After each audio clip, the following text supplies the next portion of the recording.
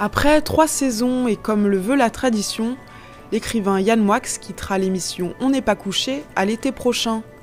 Si les rumeurs vont bon train sur son potentiel remplaçant, il semblerait que la production n'ait pas encore arrêté son choix.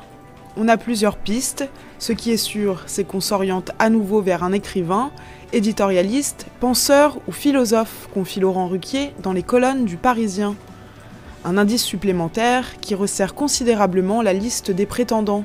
Christine Angot, quant à elle, devrait signer pour une deuxième saison. Il faut que l'on sache si elle continue. On le souhaite, et je pense qu'elle aussi, explique l'animateur. Malgré de vives critiques sur les réseaux sociaux, l'écrivaine reste donc une chroniqueuse légitime pour Laurent Ruquier.